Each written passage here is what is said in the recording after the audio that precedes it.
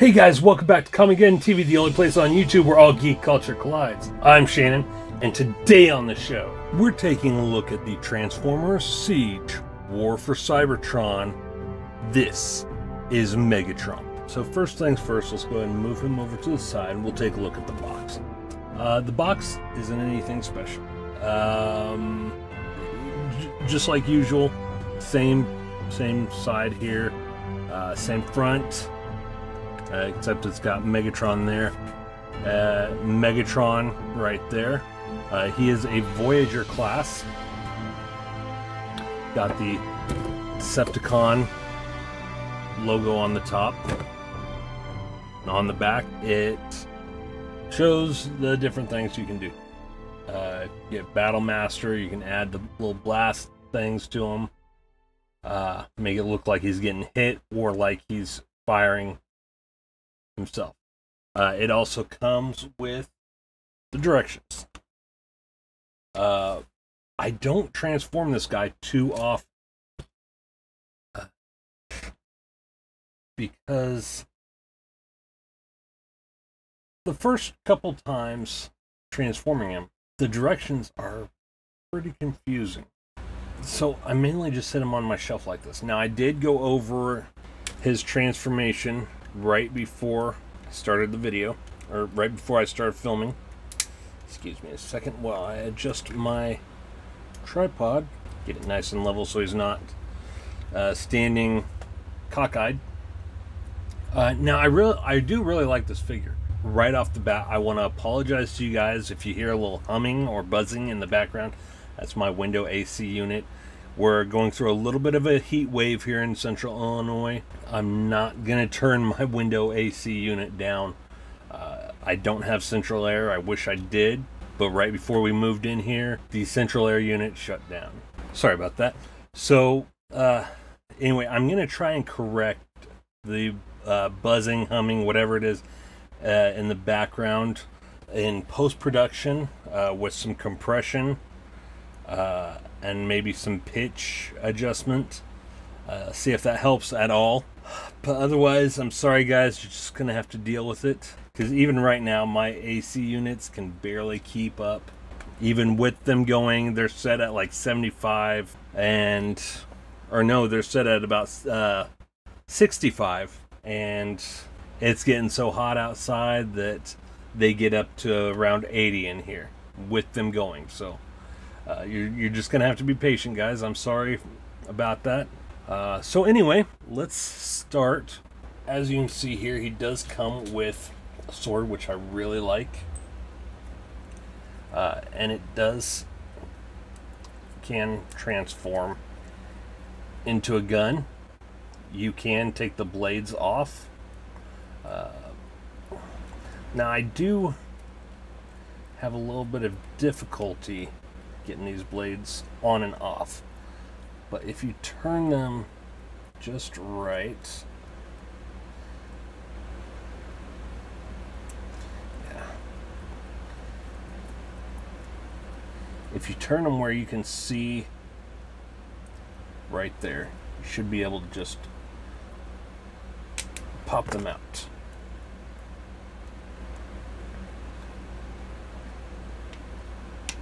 Just like that.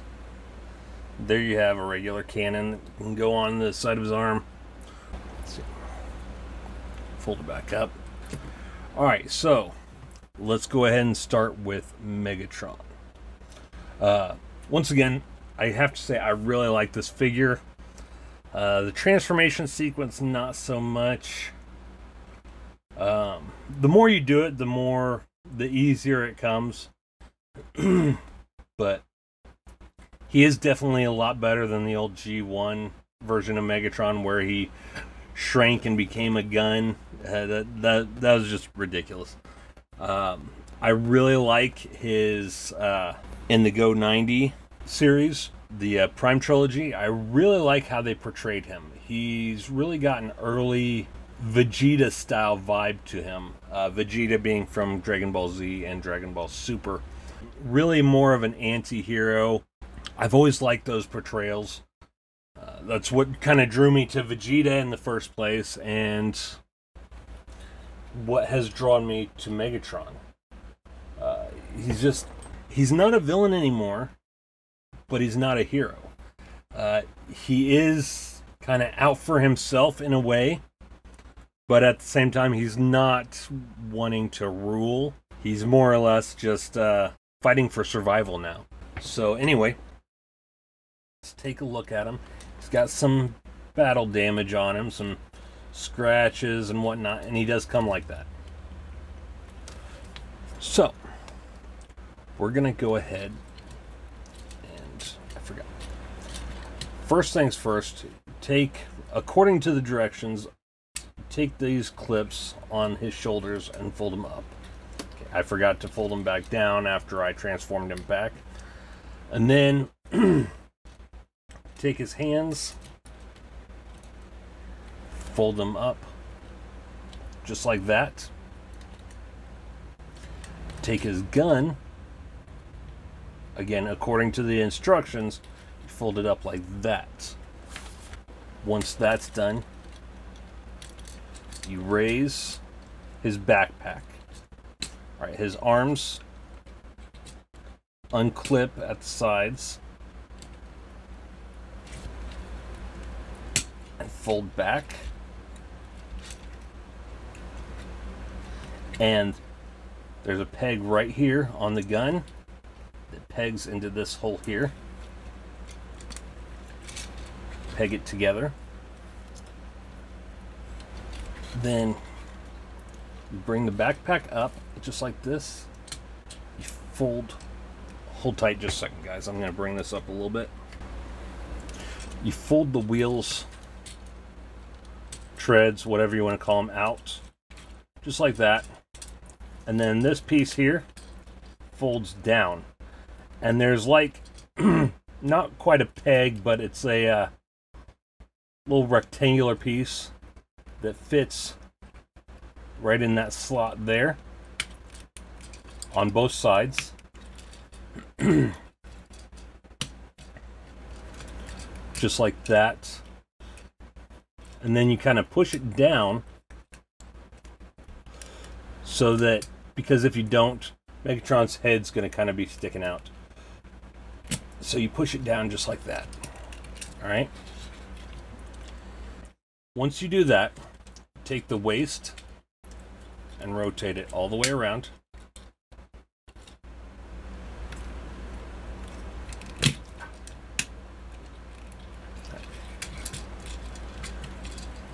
Now let's go ahead and bring this back down. Well, we'll just kind of angle it down like that so you guys can see. All right. So then you take the legs here,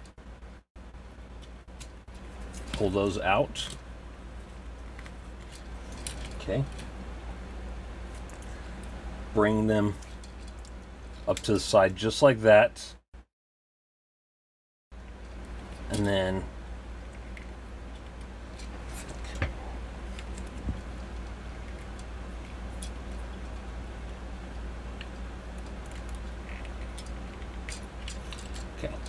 fold them down. So see that spot right there? Fold them down. Just like that. One second, guys. All right. so then once you do that, at, you raise up the leg, and as you're doing that, you turn this spot here. Now you're going to have to hold on to this part with your other thumb and just rotate it around. Just like that. Clip that in, and there is right there that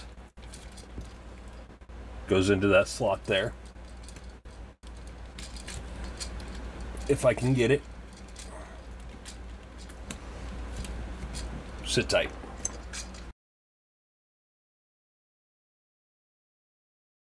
All right then you do the same thing with this side. Bring it up, and as you're bringing it up, you rotate it, clip it in.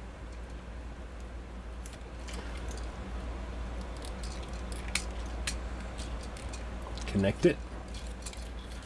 All right. And then once you do that, you just take the feet, fold them up, and you got Megatron in tank mode. Now you can do this two ways. You can have it like that, which is how the instructions say, which has the barrel of the uh, cannon pretty flush with the backpack. I don't like that.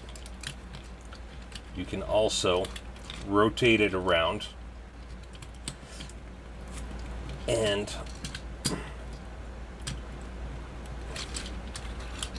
go like that. Now, I like that a lot better. That looks more like a tank to me. And you can take a sword, a sword cannon, whatever you want to call it, and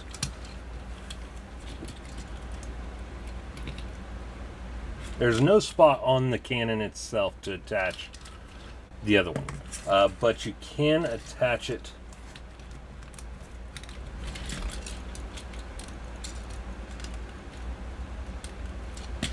to the side.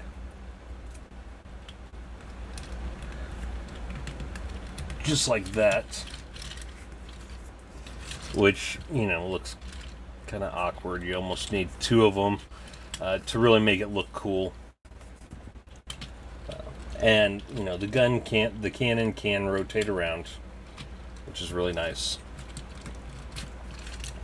Uh, you can also attach it to the back.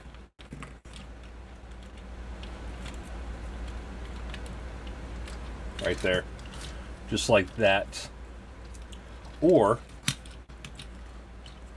if you know you want to have have him look like he's cutting through some enemies put it out to the side like that. It's kind of cool, but again, you almost need two to make it look good, make it not look so lopsided. Uh, but yeah. Or, let's see, can you put it in the barrel? Yeah. You can add it to the barrel and make it look extended out. Maybe even bring it up and have this kind of a tripod. Which doesn't look too bad. Looks okay. I don't know. But there's a number of things you can do with this really. It's not bad. I like it. I like it a lot um, so yeah, there you guys have it. The Transformers Siege War for Cybertron. Megatron. And like I said, I do re really like what they've done with him in the uh,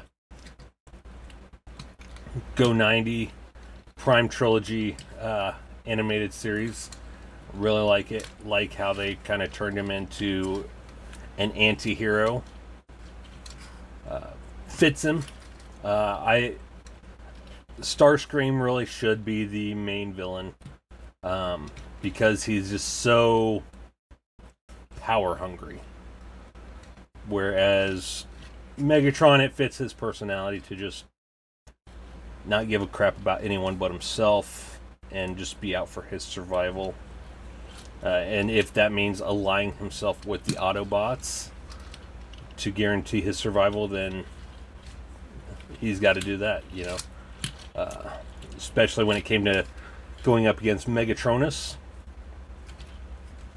You know, he kind of tried to ally himself with Megatronus. Uh, he played it off like uh, two options, really self survival and trying to trick him. Now, can also do something like that. That looks that looks okay. Uh, but he does roll around. Has wheels on the bottom. So anyway, there you have it, guys. Transformers Siege, War for Cybertron, Megatron. Uh, I'm going to try to do a, a few, a lot more of these Transformer videos. Uh, I know a lot of you really like the history and origins videos, especially my Highlander series. I have not given up on that. I will continue to do those, but as I've said multiple times, Comicgeddon TV is a place where all geek culture collides. And so there's a lot of Transformer geeks out there. I'm one of them. Uh, now, I don't really keep up on the history. I'm trying to read up more on the history and learn more about them. I just more or less like them because they're transforming robots. Always wanted more Transformers as a kid, but they were just so expensive. Uh, the G1 style, you know, they they were they were still pretty expensive. Uh, even though they're kind of generic, they were still pretty expensive. And I really loved Battle Beasts as a kid. They were cheap. They're set in the same universe as Transformers. Uh, I think I had the whole collection. Every time we went to Kmart or whatever as a kid, I always picked up uh, a set. I think they came in a two pack at the time. So my mom let me get a couple of them. Uh, they were really cheap, like a dollar or two. This was back in the 80s. And I loved the hologram on them, on their chests used play with them for hours on end. I, I kind of wish they'd bring Battle Beasts back in that same style that they had before. I've tried looking them up online on eBay and stuff. They're pretty expensive now, which makes me wish I would have never lost all my Battle Beasts. So anyway, there you have it, guys. I'm Shannon for Comicgeddon TV, the only place on YouTube where all geek culture collides. Take care, geeks. If you enjoyed that video, make sure you hit the subscribe button right there so you can stay up to date on all things geek culture. Also, make sure you check out one of these two playlists on the side for more videos just like the one you just watched. I'm Shannon for Comicgeddon TV, the only place on YouTube where all geek culture collides. Take care, geeks.